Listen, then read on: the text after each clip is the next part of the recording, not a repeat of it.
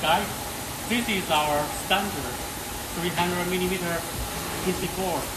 We have red, yellow, green, three colors. And uh, this size could be 100, 200, 300, and 400. Any size you want. The difference between our board with others is we coat with lacquer to protect the PC board. And uh, we are making a very big quantity of